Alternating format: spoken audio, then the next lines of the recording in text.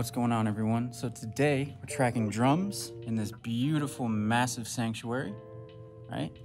Got the Mapex Saturn kit set up, ready to go. I'll dive into that a little deeper in a bit. But uh, yeah, we got 12 mics set up, getting some really great drum sounds. Um, really taking advantage of this room. It's huge.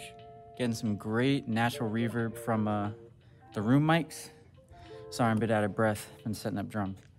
But yeah, so I'll dive into the mic setup a bit and uh, we'll get some sounds. All right, starting off with the kick, we have a custom built sub kick that I built myself, which I will be doing a video about that soon. And for the kick in mic, we have uh, AKG D112, always reliable. All right, moving on to the snare, we have Audix i5 on top. Focus there. Very, very good mic for snare, uh, other instruments too. On the bottom, we have the classic 57. Good on every single thing on earth. For the hi-hat, we just have a MXL small condenser mic, and it is aimed away from the snare a little bit just to combat with some of that bleed so I can focus on the hi-hat. And then moving on to the toms, we have beautiful Audix D2. Same thing on the second rack tom. And on the floor tom, we are rocking a D4 for some extra low end.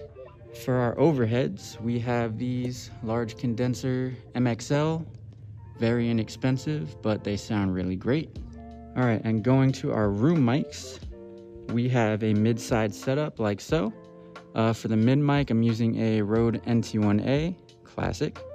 And for the sides, I'm using a a C414 in a figure eight pattern. Beautiful, beautiful microphone. C414 is goaded.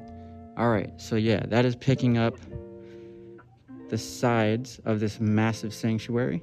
And then, of course, the mid is picking up more of a direct sound, but it is, I would say, if I were to guess, maybe 30 to 50 feet away from the kit. I didn't want it too far. I also didn't want it too close. So that is the mic setup that I'm using. So let's get some sounds.